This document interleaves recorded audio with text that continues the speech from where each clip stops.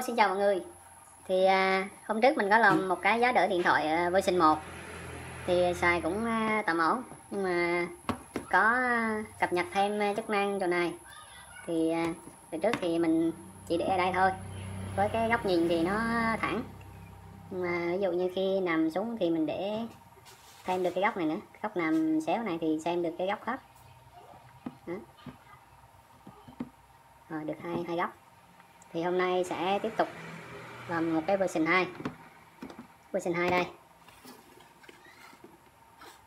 Welcome mọi người, đây là giá đỡ điện thoại của cậu con và nó rất là nhiều chi tiết khá là phức tạp nên con đã à, làm ra một cái là khá là nhỏ gọn và tiết kiệm tiền.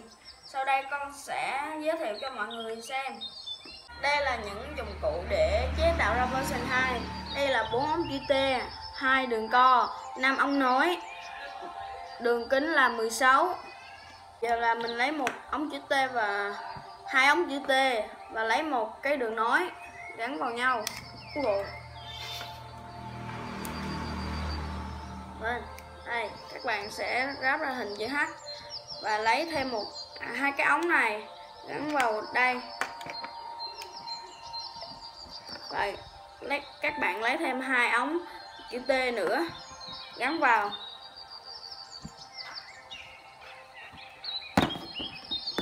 Đây là chữ H và sau đây các bạn lấy thêm hai cái ống nối này gắn vào đây, gắn vào trước.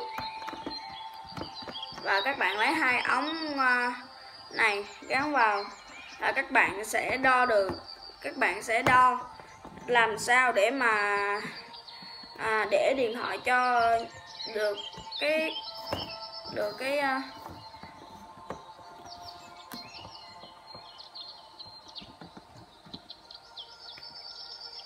đây là cái à, phiên bản à, phần 2 con chưa được làm một phút mà đã làm xong được ra như vậy.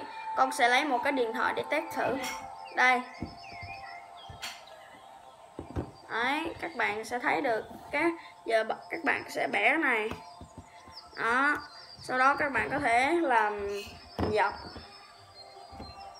Đây, đó nó là khá tiện dụng. Các bạn có thể thấy. Đấy. Đây. Như là, nếu các bạn mà chưa thấy nó được á, thì các bạn sẽ bẻ ra.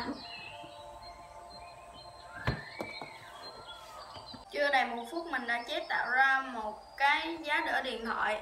Như thế này các bạn có thể làm giống mình và chụp hình gửi dưới comment nhé.